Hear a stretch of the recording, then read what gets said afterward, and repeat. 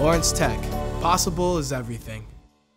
What an evening for some high school soccer. The sun shines bright in Carmel, Indiana, as we visit University, where the Trailblazers welcome in the Cougars of Greenwood Christian Academy.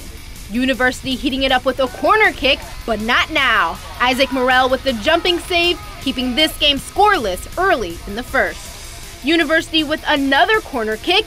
Senior Sam Gailey punches it from the corner, and they say two heads are better than one. Off Coglin Plumer, then a defender. Goal Trailblazers. One to nothing in the first half. University up two scores. The throw in gets in some open space, and Ethan Bendig puts this one top flight to the net. He would have two in this game. University would lead by three. Late in the second, Greenwood with a big foot off the Trailblazers keep. Defender Dan Crick, a sophomore, gets rowdy in the goal and makes it happen for the goal. But it would be too late. University takes this one over Greenwood Christian Academy, 3 to 1, the final.